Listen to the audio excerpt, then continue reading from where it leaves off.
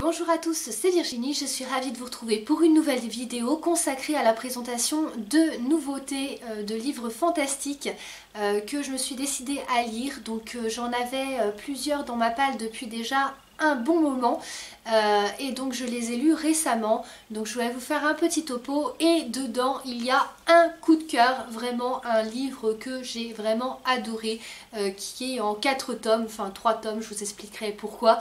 Euh, donc je vais tout de suite vous présenter déjà le premier livre qui est un classique entre guillemets. Il est écrit sur un personnage connu qui est Superman.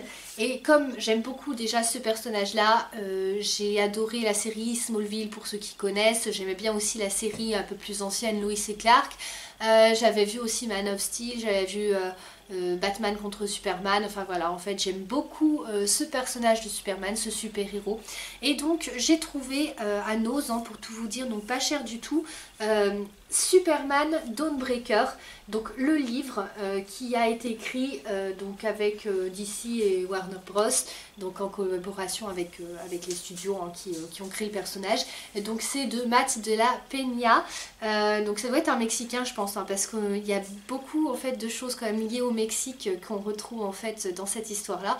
Euh, j'ai beaucoup aimé, donc là on suit la jeunesse de Superman, il y avait aussi Catwoman, euh, après je suis peut-être un peu moins fan de l'histoire donc j'avais pas pris euh, par contre en livre, mais ils en ont fait voilà sur plusieurs super-héros. Et euh, ici donc on va découvrir donc Clark euh, qui découvre en fait ses pouvoirs, euh, ses origines également. Donc on retrouve les personnages connus comme sa meilleure amie euh, Lana, c'est juste sa meilleure amie en fait là-dedans, qui est journaliste, et Lex Luthor forcément, l'un des grands méchants. donc, donc voilà, j'ai beaucoup aimé, il y a beaucoup d'action, c'est un petit peu presque policier je dirais en même temps. donc voilà, j'ai bien aimé, j'ai bien aimé ce, livre-là donc je vous le conseille. Ensuite vous avez euh, trois tomes que je suis en train de lire, euh, j'en suis au deuxième que j'ai presque terminé, je vais bientôt attaquer le 3.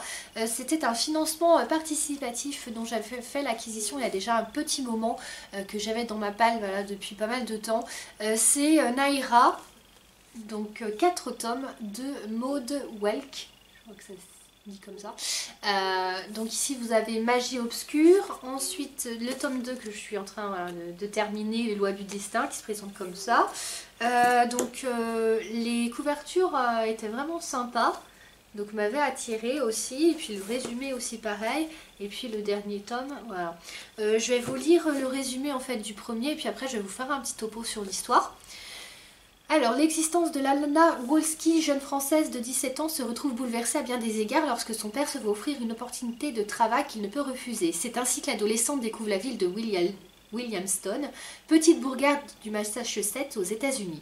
Elle parvient très vite à se faire intégrer et à avoir des amis, se mettant avec facilité dans la peau d'une lycéenne américaine typique. Cependant, des événements étranges et surnaturels vont la confronter à une réalité à laquelle elle ne s'attend pas. Et puis, qui est cette mystérieuse jeune fille à la chevelure flamboyante qui hante ses nuits? Les liens du sang sont-ils la base de tout?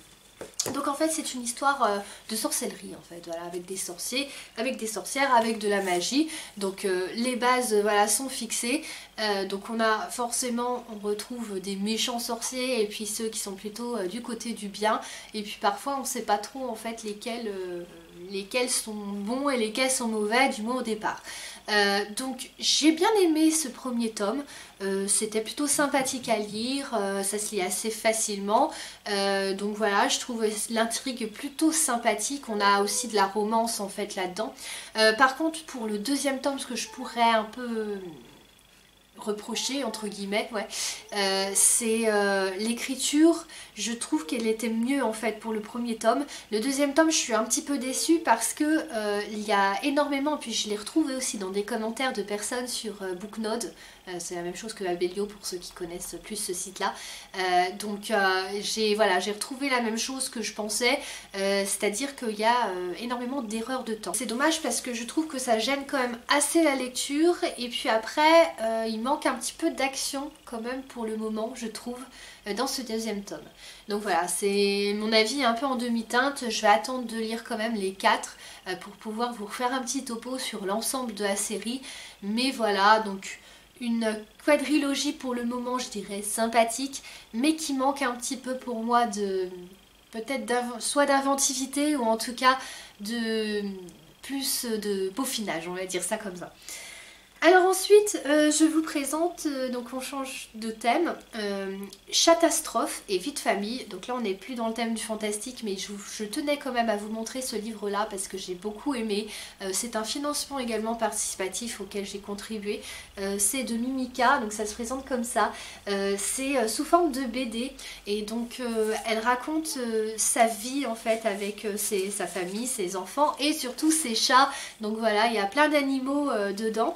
Donc je trouve ça vraiment frais, printanier, euh, donc euh, même estival. Hein, euh, je trouve ça c'est vraiment une petite lecture d'été vraiment sympathique et puis à lire à des enfants hein, aussi, pourquoi pas. Et puis donc c'est très drôle. Donc vous avez des petites planches comme ça et donc avec beaucoup d'humour. Elle raconte aussi la période qui était très difficile du confinement, etc. Donc, donc voilà, j'ai beaucoup aimé. Et il y avait aussi donc la possibilité d'avoir une contrepartie euh, avec son animal euh, qu'elle allait croquer. Et donc du coup, euh, j'ai souscrit à cette contrepartie-là. Et ici, vous retrouverez ma petite Ginger, voilà, mon berger allemand. Et ce qui est super sympa, donc c'est que vous retrouvez ben, les animaux aussi d'autres personnes. vous aviez aussi des petites choses comme ça. Et là, vous avez des stickers. Et en fait, vous retrouvez tous les animaux aussi sur des, ces petits stickers. Super top. Avec le nom aussi, elle a rajouté le nom des animaux euh, en bas. Et vous aviez des petites cartes comme ça qui sont très... Euh, en a certains, ils diraient que c'est très kawaii. Comme le, mot japonais en fait qui veut dire mignon donc euh, mais je trouve ça vraiment sympa c'est joyeux et tout donc, donc voilà une petite lecture détente à faire que je vous conseille alors ensuite on va arriver, euh, et puis je finirai euh, sur un livre que j'ai pas encore lu, euh, sûrement je pense ma prochaine lecture, mais là on va arriver sur mon coup de cœur total, franchement j'ai adoré ce livre là. je me rappelle que je l'avais déjà lu il y a déjà plusieurs années et je savais même pas s'il y avait une suite ou pas, ça débouchait en tout cas sur une suite, mais j'arrivais pas à la trouver. Et c'est 66 le tome 1 ici, La prisonnière euh, de euh, Michel J. Lévesque. Et le souci c'est que en fait je me suis aperçue euh, assez récemment hein, quand même, il y a quelques mois, en voulant en fait le relire et en voulant du coup lire la totalité, que la suite n'avait jamais été imprimée a priori en France, en tout cas qu'elle n'est pas trouvable en France. donc du coup j'ai tapoté euh, sur internet. J'ai fini par la trouver sur Amazon. Euh, elle était vendue par euh, le Canada je crois pour peut-être la moitié des, autres livres des suites. Et par contre, il y en avait un ou deux qui venaient d'une bibliothèque aux États-Unis. Et donc du coup en français, hein. donc ça m'a permis en fait d'acquérir tout ça et de tout relire. J'étais un petit peu déçue en fait parce que si vous prenez le deuxième tome ici, euh, en fait on vous vend un tome 2 et un tome 1 euh, donc ça devrait être la suite. Sauf que celui-ci alors je me dis peut-être qu'ils ont rassemblé deux tomes dans un mais ils auraient dû le spécifier. C'est exactement en fait les copies conformes. Il y a juste en fait 5 pages bizarrement au tout départ euh, qui sont rajoutées en fait dans ce tome 2 entre guillemets mais sinon c'est vraiment les mêmes. Donc j'ai ouais, ça m'a un peu déçu pour ça mais, euh, mais voilà, donc faites attention si vous les, si vous voulez, voilà, de pas trop vous faire avoir. À la limite, il vaudrait mieux, euh, je pense, prendre ce tome 2 à la place du tome 1, comme ça vous aurez un tome complet. Enfin, voilà, je pense. Euh, donc je vous fais un topo sur l'histoire. je vais vous lire aussi, je pense, le résumé, mais alors, je vous le lis d'abord, je vous fais le topo après, ça va être mieux. Deux villes, deux héros pris au piège, deux histoires parallèles, 66 adolescents séquestrés, un informateur désincarné, des sentinelles terrifiantes, une population exterminée, des réalités contradictoires qui s'effacent et changent au gré des nuits. Que se passe-t-il à T-Walls, petite localité américaine en apparence paisible?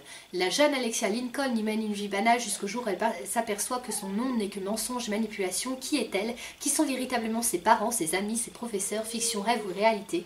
Au même moment, la ville de Hastings Horizon, en Californie, est ravagée par une pandémie qui décime sa population à une vitesse fulgurante. D'où provient ce virus qui transforme ses victimes en zombies assoiffés de chair et de sang? Truand notoire Jacques Soho euh, tente vainement d'éloigner ses proches de cette malédiction et assiste désemparé à l'inéluctable apocalypse. Apocalypse. Entre souvenir d'un braquage avorté et cavalcade échevelée sur les routes de Californie, il finira par croiser le chemin de la prisonnière guidée par le mystérieux F. Christian. Donc il dit sur les traces de Matrice et d'Inception, ce livre nous plonge dans une machination tentaculaire et diabolique qui mêle expérimentation militaire, médicale et intérêt financier et pouvoir mafieux. Alors oui, en effet, ça mêle tout ça. Et euh, en fait au début vous pouvez presque être perdu tellement euh, les choses en fait au début sont floues, il y a plein plein d'éléments qui nous sont donnés, euh, plein de secrets, plein de mystères. Et finalement tout, tout s'imbrique, toutes les pièces s'imbriquent les unes dans les autres. Et franchement le final est juste bluffant. Donc on suit Alexia Lincoln qui est une jeune fille euh, qui est très superficielle d'ailleurs, euh, qui vit euh, dans, ce fameux T-Walls dont personne n'a trop d'ailleurs entendu parler. Hein. C'est une ville soi-disant aux États-Unis, on ne sait pas trop où, ils savent même pas forcément eux-mêmes où ça se trouve exactement. Donc déjà c'est un peu curieux. Et donc cette jeune fille là, elle a plein d'amis, elle est populaire, c'est la star du lycée, elle est cheerleader, etc. donc elle se plaît même un peu à, je dirais, euh, comment dire, à brimer un petit peu les, autres. Donc elle est, voilà, elle est pas top, disons, au niveau personnalité, euh, trop, quoi. Et puis, euh, elle va commencer à s'apercevoir qu'il y a des choses qui manquent dans sa vie. Et des choses qui sont bizarres. à un moment donné, elle se réveille et tout a changé chez elle, comme si elle menait une autre vie. Et puis, il y a ces bracelets qu'ils ont, tous ces adolescents qui font partie de, de T-Walls, et qui, ben, à une époque, euh, enfin à une heure donnée, je sais plus, je crois que c'est minuit, euh, il y a un couvre-feu en fait, et puis ils appellent ça la piqûre du sommeil, en fait il y a quelque chose qui les pique dans ce bracelet-là, et ils dorment tous au même moment, et ils se réveillent tous au même moment le matin, chaque matin. Et donc du coup, euh, face à tous ces mystères, elle va essayer ben, de découvrir sa véritable identité parce qu'en fin de compte, elle n'est pas vraiment Alexia Lincoln. Euh, et donc elle va découvrir ben, tout un stratagème qui a été mis en place. Donc il y a des intrigues politiques aussi là-dedans. Euh, il y a ce fameux virus qui va être propagé intentionnellement aussi par certains grands puissants pour asservir un petit peu la population. Et donc ça va rendre les gens euh, à l'état de, zombies euh, qui euh, sont assoiffés de, sang et de chair. donc il y a une partie quand même sur ces zombies là, par contre ce que je tiens à spécifier c'est que bon, moi j'aime pas trop l'horreur. c'est Pourtant ils sont horribles, hein, bien sûr, ils mangent des corps humains, etc. voilà, c'est le principe des zombies. Hein. Mais par contre, tout le reste en fait fait que cette horreur là, enfin en tout cas moi c'était mon cas, on l'oublie quoi. Voilà, parce qu'il y a l'autre histoire qui est derrière ça, qui a beaucoup de suspense aussi. Euh, donc euh, voilà, tout ça euh, tient en haleine. J'ai beaucoup apprécié ça. Et puis il y a ce Jack Soho qui va être aussi l'un des héros de cette histoire, qui est pourtant un mafieux. Hein, donc bon, il tue peut-être pas lui-même tout le temps les gens, mais en tout cas voilà, il travaille pour un, pour un grand mafieux. Et puis, il va contribuer en fait à, essayer d'éviter en fait cet apocalypse. Et ce que j'adore, c'est que chaque tome va suivre un personnage, va suivre en fait comment je dirais, je ne peux pas vous révéler tout non plus, mais le point de vue entre guillemets d'un personnage. Et chaque tome euh, va euh, avoir une incidence en fait dans l'histoire, euh, va avoir un... Il y a beaucoup en fait de, temps. Le temps a beaucoup d'importance en fait dans cette histoire-là. Le futur notamment, le passé aussi. Et, et donc chaque tome va être en fait ce qui aurait pu arriver finalement. Euh, donc ça, c'est voilà, vraiment euh, exécuté de main de maître. Enfin, franchement, moi, j'ai adoré ça. Un super roman d'anticipation. Euh, et à la fin, la fin, franchement, est bluffante. Je, jamais, en fait, j'aurais pensé à cette fin-là. Et je trouve que vraiment, c'est la meilleure des fins qui soit. Je vous en dis pas plus. Voilà, si vous aimez les romans d'anticipation, si vous aimez quand il y a un petit peu de zombies, mais que ça reste quand même assez light, euh, voilà, euh, n'hésitez pas à le lire si vous aimez qu'il y a des suspens, que ce soit un petit peu psychologique, un petit peu tortueux, tout ça, voilà. Et donc je vous montre un aperçu euh, des troisième et le quatrième, voilà, tome. Donc essayez, voilà, si vous pouvez les trouver, euh, si ça vous intéresse, euh, plutôt en fait hors France. Malheureusement, euh, ça sera sûrement un peu plus cher. Moi j'avais payé aussi, alors faites attention, j'avais payé des frais de douane en fait pour l'un de ces livres-là. Je pense celui qui venait des États-Unis. Le Canada, ils ont dû peut-être pas me faire payer, mais mais il y en a un où j'ai payé des frais de douane, donc ça c'est un peu embêtant, mais voilà, il faut savoir. Bon. Et le dernier livre que j'ai réservé pour la fin, donc c'est celui que je n'ai pas encore lu. Euh, je ne pense pas, j'espère ne pas me tromper, euh, je ne pense pas vous l'avoir déjà présenté. Euh, c'est le dernier livre en date, il me semble, que j'ai reçu deux donc euh, des éditions Le Rond d'Argent, je vous ai déjà montré plein plein de livres euh, qu'ils font. Euh, ils font régulièrement des financements participatifs sur le site Ulule. Donc si toutefois ça vous intéresse, vous pouvez voilà, regarder et puis suivre un petit peu leur, leur publication. Donc voilà, ils font des beaux livres comme ça, fantastiques hein, le plus souvent, avec des, magnifiques illustrations. Donc là on a fait émerveille. On a toujours des petits bonus hein, selon les personnes qui contribuent. Et donc voilà, vous avez euh, de superbes cartes en papier glacé. J'aime énormément. J'aime énormément en fait leurs beaux livres euh, d'art en fait, on peut dire. En général, c'est dédicacé, mais celui-là ne l'était pas. Euh, donc voilà comment ça se présente.